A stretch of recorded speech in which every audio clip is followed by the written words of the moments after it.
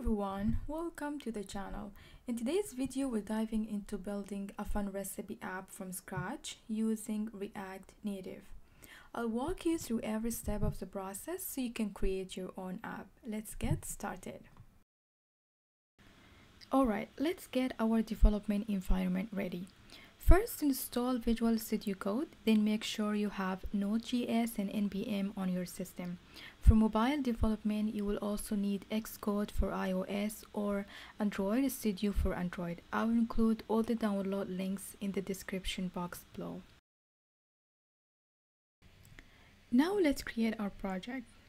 Open your terminal and run the command you will see here.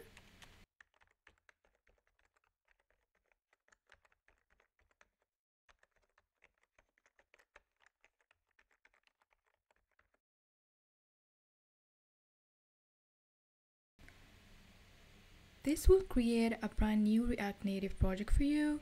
It'll automatically set up all the necessary files, so just give it a moment to finish. Also, I'll copy this command and drop it in the description box.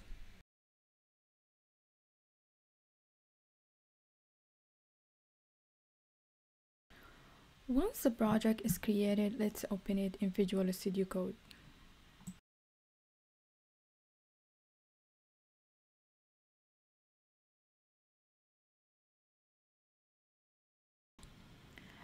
Next, we're going to um, install React Navigation along with some necessary packages to um, enable seamless screen transition or like smooth transitions between screens.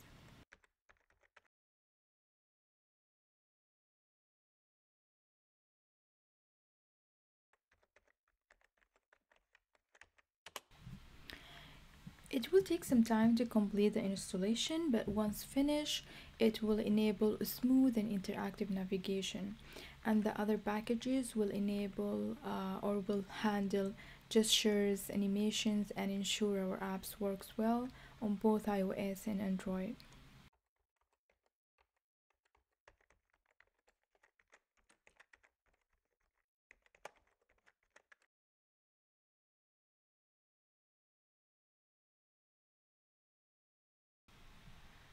Now let's get the app running. You can choose either a virtual device on your computer or use a real device connecting via USB.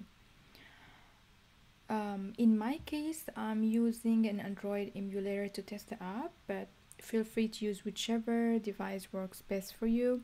If you're working, let's say, on iOS, you will use the Xcode simulator instead. Now I'll open my project recipe app in Android Studio. Here all my files. Then I will go to device manager, add new device, create virtual device. I have a lot of options. I will create I will choose one. Next, then I will create it.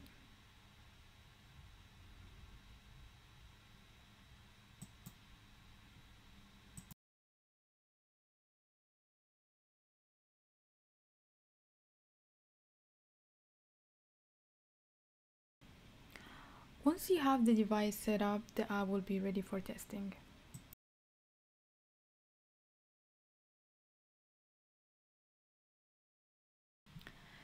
In step 4, we will set up our basic folder structure. We will create a screens folder uh, for the screens that we have. Then we will work on the app.js file to handle navigation between them. After creating app.js file, I will start writing my code.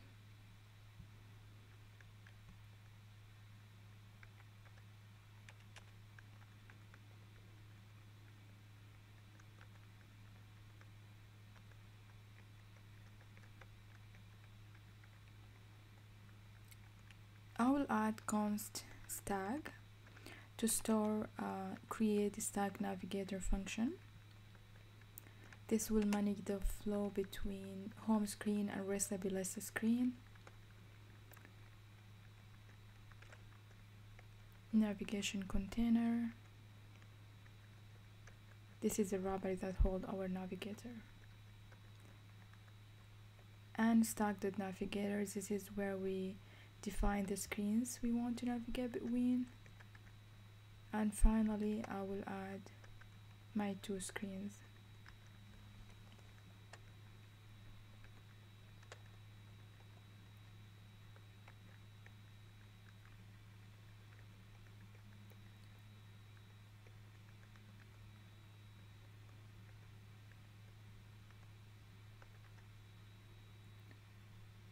The initial route name uh, means the app will open uh, to the home screen first. At the top of the file we need to add the necessary imports. This is how we bring in the components and libraries need to make to make it work.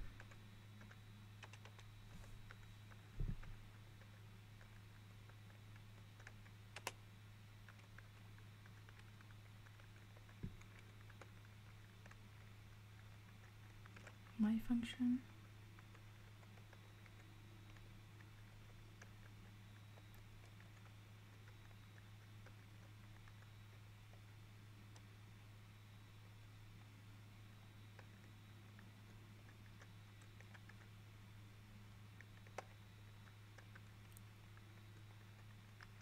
I will add the folder later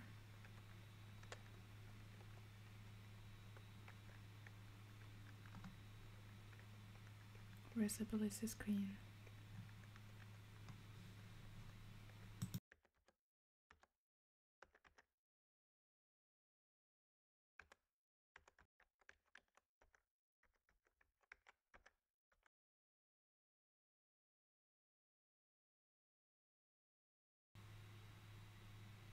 Now I will add my folder screens. Then inside the folder we add the files. Home screen to screen.js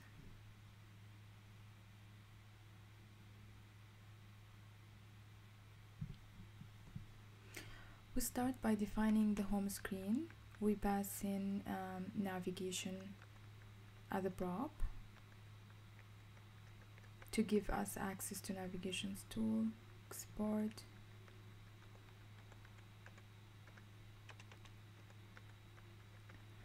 In the return statement, we're using view component as container. Inside it is um, a text, uh, just welcome message. Then I will add button with title, go to recipe list. On press, it will take us to that screen.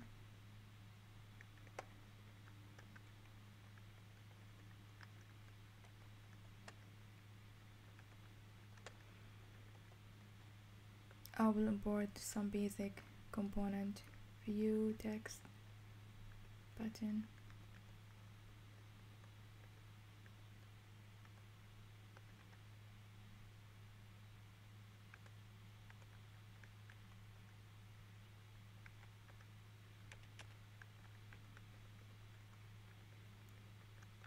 Finally, I'll define some basic styles.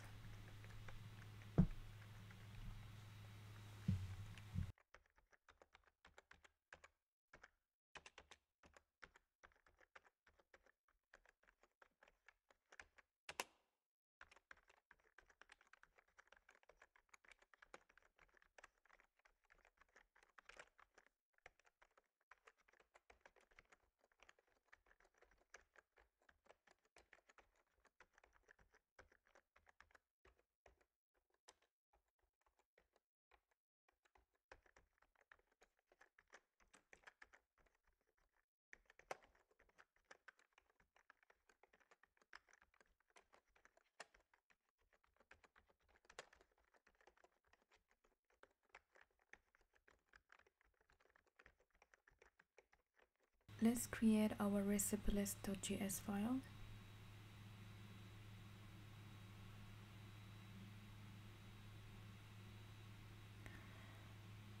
This will be a simple screen that display a text.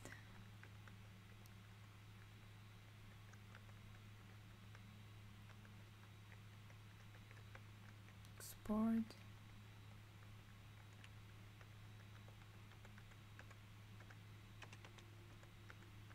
then I will add my text. This is only for now but uh, in the next video we'll add more components. Then import the libraries that we need.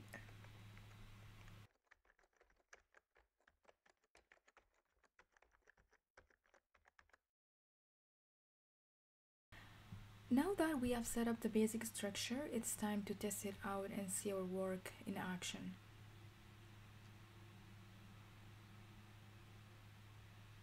But before that, since we want to use JavaScript, not TypeScript, I will go ahead and delete the app.tsx file, which was created by default. And with that done, I will type this command and launch it. Now just wait a bit for the app to compile and build.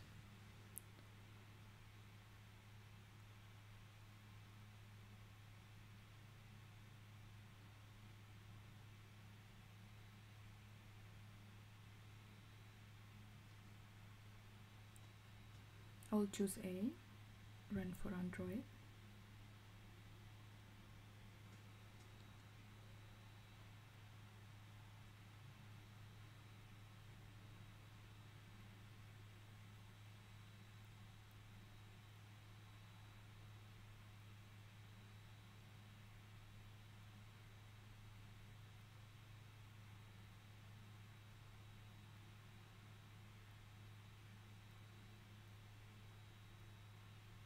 Will take some time.